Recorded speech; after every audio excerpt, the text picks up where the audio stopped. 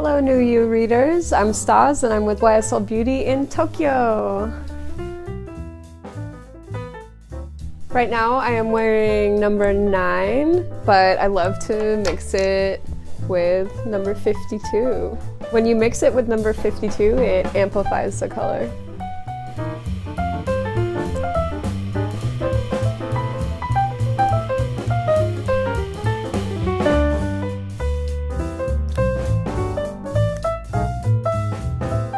Another color I love is number 414. It's like a really fun uh, spring color in summer. It's nice and bright and it kind of makes you happy when you put it on because it's such a pretty color.